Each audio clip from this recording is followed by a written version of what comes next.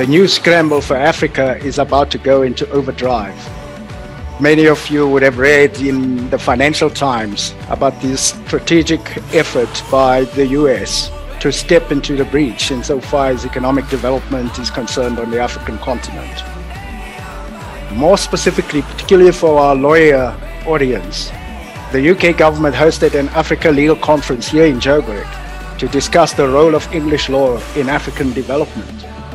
No doubt there are numerous other initiatives uh, that are on the go arising from this multipolar world where geopolitical contestation is now the order of the day.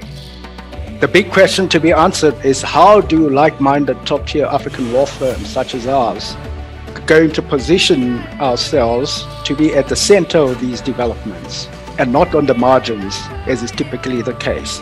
There is a lot to be excited about the advent of the Africa Free Trade Community, and various other continental, regional, and inter-country initiatives to make our continent investor friendly and to enable all of us to participate as equal partners in global economic development.